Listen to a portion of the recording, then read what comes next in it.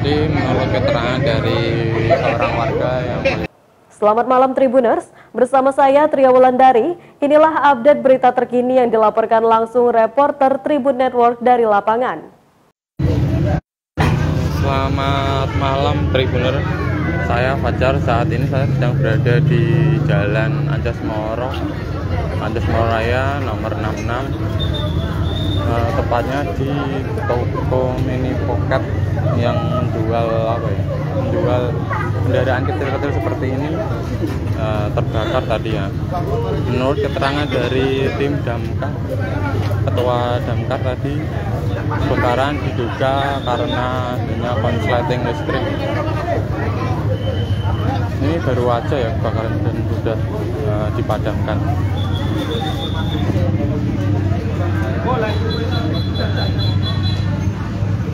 ya ini sisa-sisa tadi dari kebakaran sedang dibersihkan oleh pemilik.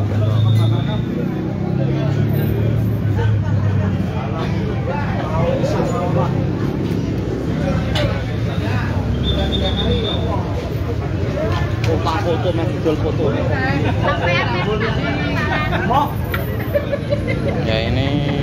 tadi kendaraan-kendaraan kecil yang ada di dalamnya ikut terbakar ya. Cuma beberapa, beberapa saja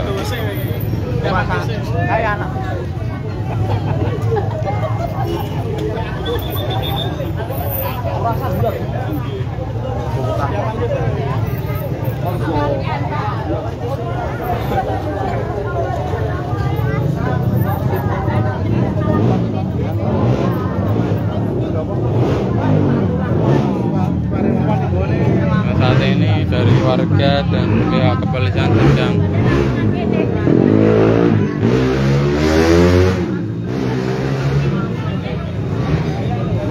sedang membantu evakuasi untuk dipindahkan dari tempat kejadian.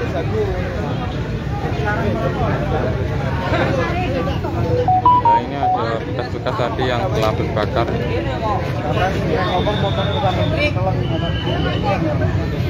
Gak ngomong